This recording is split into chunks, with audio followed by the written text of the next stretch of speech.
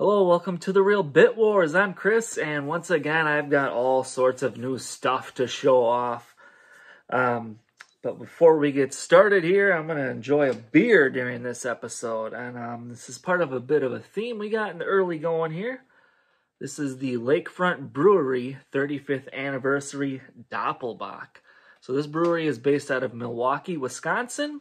And speaking of Milwaukee, I'm going to be there in a couple of short weeks here at the Midwest Gaming Classic. My friend Mike and I will be attending once again. And if you're going to be there, let me know in the comments. Or if you happen to see us there, flag us down and say hello. We would love to meet as many YouTubers as possible while we're there. But happy 35th anniversary to Lakefront. It's a fantastic brewery if you've never heard of it. Okay, so, hold on. Yes. Bocks. That's where it's at, buddy. Mmm. I enjoy bocks, man. Okay, so another thing I want to do is give a shout out to a YouTuber. And I think this is probably a channel that most of the people who watch this channel haven't heard of this guy. And um, how I became familiar with his channel is he attends the Midwest Gaming Classic. He's a part of a collective called Guys, Games, and Beer. They do this podcast, and they have this whole showcase they set up every year at the convention. They do tournaments and all sorts of fun stuff. They let people come in and play their games. So awesome. Um, so he's a part of that group, but his individual channel is called Retro Rob. I think a lot of you would probably enjoy it. So I'm going to put a link down below. Go check it out. He's a bit of a tech whiz. He likes to take things apart and deconstruct and look at the inner workings of controllers and consoles and whatnot. He does pickup videos and live streams, amongst other things. So check out Retro Rob. Very cool guy with a great channel. I don't think he and I have met, but um, I've talked to some of the other guys, games and beer guys at um, the MGC. So hopefully one of these years I can actually meet Rob. But on to the pickups here. Um, just found this a couple days ago. Monsters Inc. and the PS1. You might wonder why the heck I would buy that. I've been finding PS1 and PS2 games at my local thrift stores again. That has not happened for a very long time. You might have seen in my most recent pickup video, I found some PS2 games. So yeah, it was a dollar ninety nine. I'll buy a PS1 game that I don't have for two bucks all day, every day. I'll pick up. I don't care what it is. I will buy it for two dollars. Okay, a lot of video games here, but I have a couple of other things to show off. There's also uh, a NES game for the Countdown, which I will show you.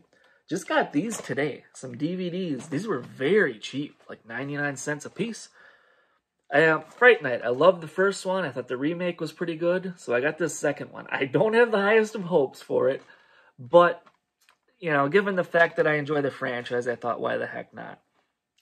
Yeah, Masters of Terror. I kind of I love collecting these crappy, like, uh, collections of horror movies. um, what sold me on this one is this mortuary one was directed by Tobe Hooper. I'm trying to collect every Tobe Hooper movie, so that was one I needed. Again, another thing I collect the midnight movies. People that time forgot.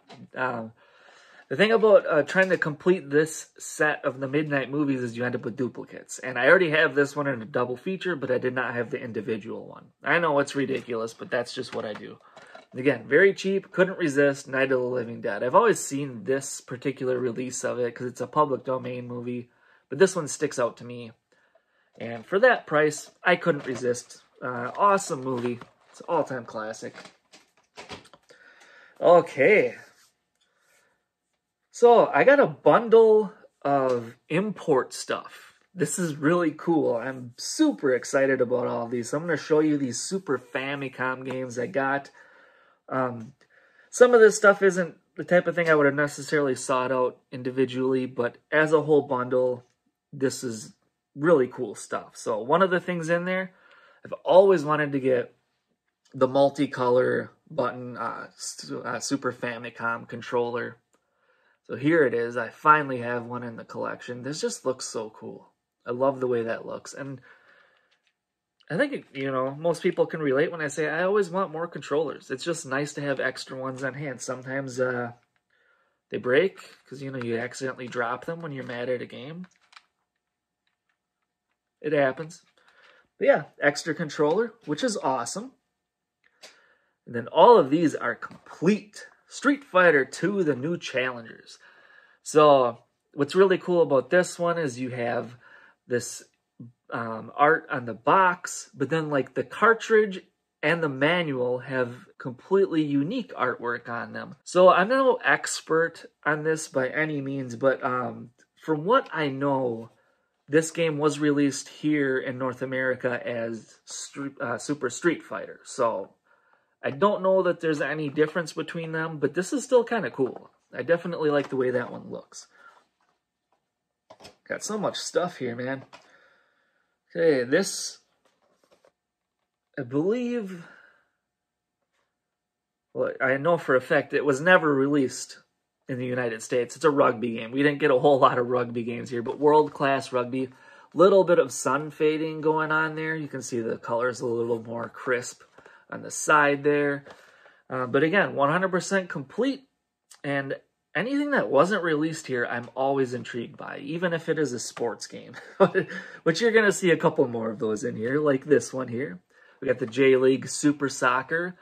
Um, I know that there were multiple games in this series. Um, it could have been the same one, but um, my buddy Mike, one time when we were at the Midwest Gaming Classic, he picked up a uh, Mega Drive one.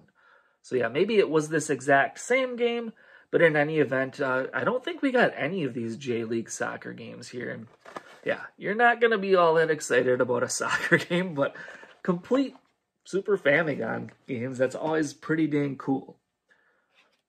So listen, this is kind of a sport.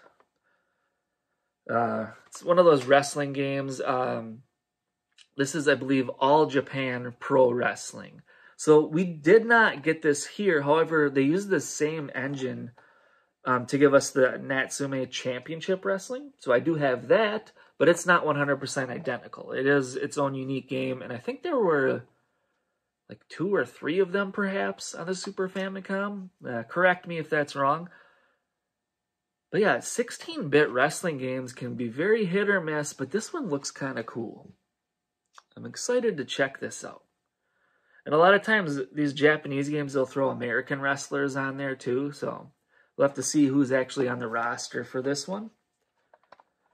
Here's another one. I never would have gone out of my way to buy this, but um, we got Ultimate Football. That is like the worst cover I've ever seen. And if they only could have put a real team on there instead of that crappy one that I can't stand. Um, we did get this one here too. It's called Football Theory. Yeah, just little comparison. Yeah, American football. Ooh, let's put the flag on there so everybody knows what it is. it's, it's a little ridiculous. Okay, a couple more here. Yet another sports game. I'm sorry, folks. But Japanese exclusive, final set. Tennis. Um, I would never play tennis or watch it on TV or anything, but tennis video games are usually pretty fun. At least the good ones. And it looks like it's par for the course, but still, I will give it a shot, see how it is. then here's the reason why I picked up this bundle. We got the Multi-Tap 2. I'm a Bomberman enthusiast, and yeah, I've always wanted this Bomberman Multi-Tap. I'm going to pull this out, show you what it looks like here real quick. You've never seen it, but it is a multi-tap, so you can do five-player Bomberman. And it's in the shape of his head. So this would plug into the second player port, and then you can do four controllers in there. So yeah, five players all at once. This is in nice shape. It looks really cool. I don't know if I'll display it in the box or if I'll take it out, put both of them. At some point, I wouldn't mind having like a sort of Bomberman shrine put somewhere in my game room, but uh, maybe someday I'll get around to actually doing that.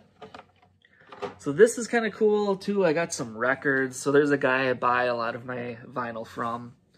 He had a couple of B-52 singles. I have almost all of their albums, so I thought maybe I'll start branching off getting their 12-inch singles here. A lot of times these have extras on them, different mixes and non-album tracks, things like that. Um, we got, I forget how to even say that.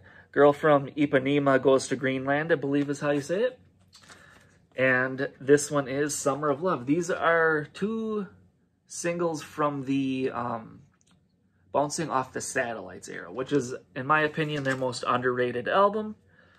So while I was picking those up, it always pays to ask. I contacted him and I said, do you have any other B-52 stuff? I would be interested. And he hit me back with something really, really cool.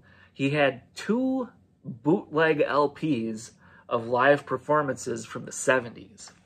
So I snagged those right away as well. This is Gumbo, and this one is here, um, B-52's Do Somersaults. And their bootlegs, they actually messed up the track listing on the back of this one, but you can see when they're still a five-piece there. And um, I want to say it was like seven, yeah, 78 Gumbo was from, and this one was from very close to that same time period.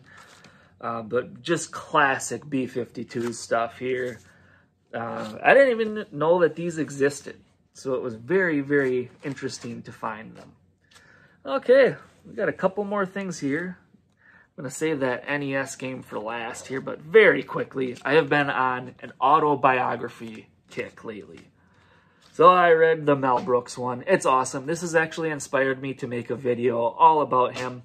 You will probably see that later this year, if not maybe even into next year. It's going to take a little bit of time for me to get through that uh, the whole editing process on that one and everything. But then in addition to that, I got the Jackie Chan autobiography, and then I found out he had a second one. So I was like, what the heck? I'll read them both. Um, this one was published in 98. This was 20 years later, 2018. Uh, I would say, unless you're a diehard fan, it's probably not necessary to read both of them. But this was first published right around the time he was becoming uh, popular, like outside of Asia. So he's not going to talk a lot about the movies that you're most familiar with in this one, and in this one he will. So for what whatever that's worth, um, some may enjoy one better than the other, but unless you're a diehard fan like me, you probably don't need to read them both. You can maybe just stick to the original one I do have um, a few more DVDs sitting over here. There's just so much stuff piled up in front of me right now. I got all these games. I couldn't resist. Again, thrift store just a couple days ago. Good Eats. They had like seven of these bad boys. I think there were a total of nine in this volume, and then there was also a red one. There's like three or four episodes on each of these. I love this show. Alton Brown is just awesome. So again, couldn't resist, especially for the price. We got to drink some more of this Doppelbock because I do not want it to get warm.